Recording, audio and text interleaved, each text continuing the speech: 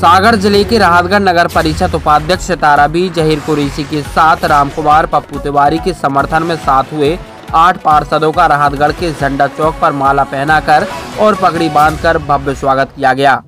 और सभी पार्षदों का फलों द्वारा तुलाधान भी किया गया। इस दौरान समस्त पार्षदों ने कार्यक्रम को संबोधित किया और हमेशा एक साथ रहने की बात कही। कार्यक्रम को संबोधित करते हुए भाजपा के वरिष्ठ नेता राम कुमार पप्पू तिवारी ने कहा कि हम हमारे आठ पार्षदों के वार्डों में इतना विकास करेंगे कि बाढ़ को चमका देंगे। बाढ़ में विकास के लिए मंत्री गोविंद सिंह राजपूत और भूपेंद्र सिंह से हमारे पारिवारिक संबंध है और हमारे साथियों को विकास करने के लिए जितना पैसा भी लगेगा, हम मंत्रियों से लेकर आएँगे। साथ ही कार्यक्रम को संबोधित करते हुए उपाध्यक्ष प्रतिनिधि जहीर कुरैशी ने कहा कि नगर परिषद पर जितना अधिकार अध्यक्ष का है, उतना ही उपाध्यक्ष का भी रहेगा। नगर के किसी भी वार्ड के व्यक्ति को, किसी भी वक्त कोई काम हो तो हमारी टीम से संपर्क करें। हम दिल और जान से आपके साथ हैं और आपके सभी कार्य करेंगे। अब रही की बात। तो परिषद तो यहाँ से चलेगी जहाँ आठ है। आप सब लोग जानते हैं कि जहाँ कोरम ज़्यादा होता है, वहाँ से परिषद चलती है। हमारे मध्य प्रदेश शासन के मंत्री भैया गोविंद सिंह जी हैं। ये नगरीय प्रशासन मंत्री भैया भूपेंद्र सिंह जी हैं। आप सबको पूरे क्षेत्र को मालूम है कि हमारे उनसे पारिवारिक संबंध है। हमारे जो भाइयों हैं, सब है, आठों भाई हैं, इनके वार्ड में पैसा की कमी नहीं आने देंगे जो, हम आपसे किए जा रहे हैं। हमारे दोनों मंत्री हैं, हम गोविंद भैया से भी पैसा ले आएँगे।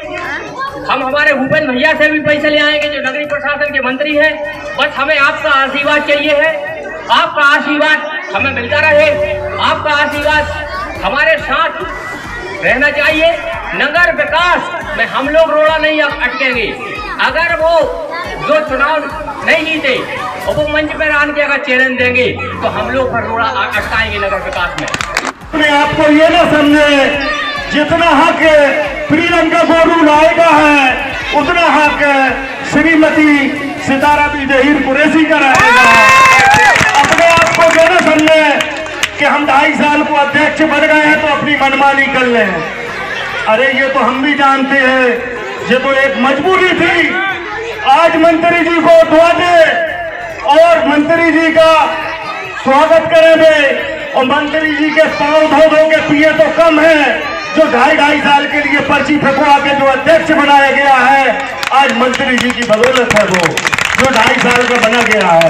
हम हम सब लोग आज आठ बार से देख सकते थे, पूरी बहुमत से थे। हमें कोई अगल करने वाला नहीं था। अध्यक्ष के दावेदार हम थे और रहेंगे।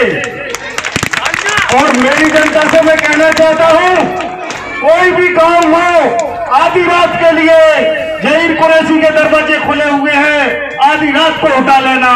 पूरे पंद्रह वार्डों का काम जी जान से एक साथ करूँगा मैं। और हमारी पूरी परिषद मिलकर आधी आदमी आधी रात को उठा लेना कोई भी काम हो, हम आटो मिलकर काम करेंगे।